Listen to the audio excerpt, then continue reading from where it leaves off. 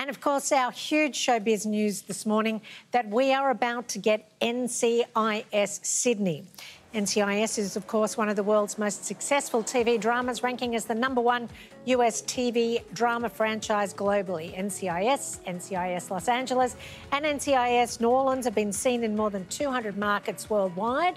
And it won the International Audience Award as the most watched television series by Media Médiamétrie and Eurodata in 2014, 2015, and 2017.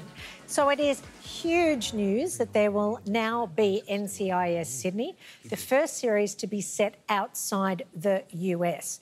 Production will commence later this year and it'll be filmed against the awe inspiring, panoramic, and spectacular backdrop of one of the world's most breathtaking harbour cities. Aussie producer Shane Brennan, the creator of NCIS Los Angeles, will be on board and cast announcements will be made soon.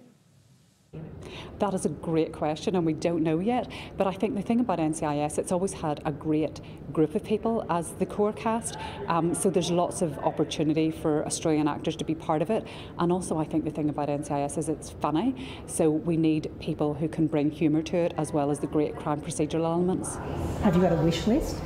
I have a wish list in my head, probably not something that I'm willing to share yet, but I think it's such um, it, there's a range of people who'd be brilliant in those roles, and obviously the legacy of people who've been in NCIS before, you know, Mark Harmon, and as I said, Vanessa Lachey, Chris O'Donnell, LL Cool J, Scott Bakula. There's been amazing people in NCIS, so I think um, exciting, it's exciting for Australian talent.